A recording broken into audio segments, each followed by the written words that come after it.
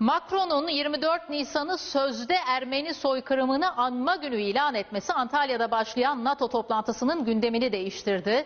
Dışişleri Bakanı Çavuşoğlu Fransız vekillere tokat gibi yanıt verdi. Çok teşekkür ediyorum. Sağ ol. Ne kadar nezaketli olduğunuzu da gördük. Çok teşekkürler. Ben de sizi alkışlıyorum. Bravo. Gerçekleri duymaktan hoşlanmıyorsunuz. Gerçekleri söylemeye devam edeceğiz. Buna alışacaksınız. Alışacaksınız, alışacaksınız. Sözlerinin hedefinde Fransız vekiller vardı. NATO Parlamenterler Kurulu'nda sözde Ermeni soykırımı tartışması yaşandı. Fransızlar salondan çıktı. Ruanda'da olanları unutmadık. Cezayir'de olanları unutmadık. Fransa önce kendi karanlık tarihine baksın. Türkiye'ye ders vermeye kalkmasın. Evet sizler böyle tepeden bakmaya devam edin ama biz de size bu şekilde haddinizi bildirmeye devam edeceğiz. Artık eski bir Türkiye yok. Türkiye Büyük Millet Meclisi'nin ev sahipliğinde Antalya'da başladığı NATO toplantısı. Meclis Başkanı Şentop, Fransız Cumhurbaşkanı Macron'un 24 Nisan'ı anma günü ilan etmesine sert tepki gösterdi. Şentop'un sözlerini Macron'un partisinin vekilleri hazmedemedi.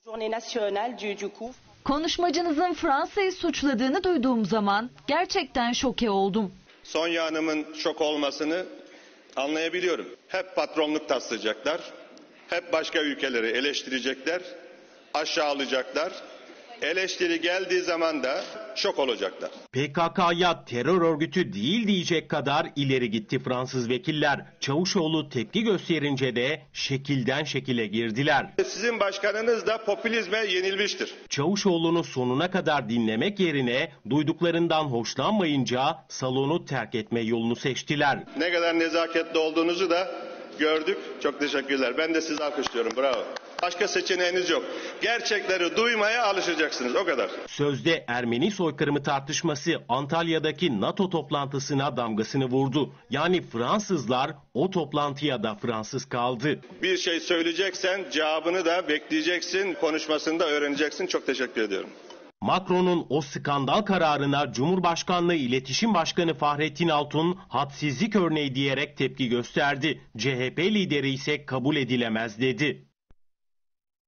Habere dair kısa bir anekdot. Bir Fransız diplomat meslektaşına soruyor. Fransa'nın milli sembolü neden horozdur biliyor musun?